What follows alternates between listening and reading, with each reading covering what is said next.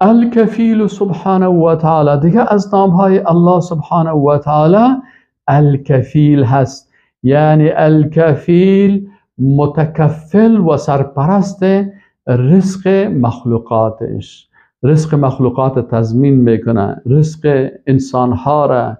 از حیوانات از از حتی به نباتات رزق میده. برای خزنده ها رزق میده. برای حشرات برای حمل از رزق از را تضمین کرده اونا را حفظ می‌کنه و برشان رزقشان میرسانه.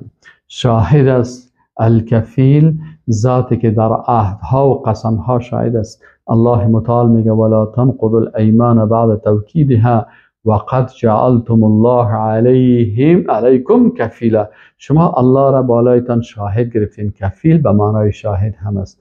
پس الله متعال سبحانه و تعالی شاهد گرفتین را در قسم هایتان از خاطر باید اما قسم هایتان را نشکنانین و الله سبحانه و تعالی کفیل است یعنی تضمین کننده رزق تمام مخلوقاتش است برای هر مخلوق هر قسمی که رزق خواسته باشه میرسانه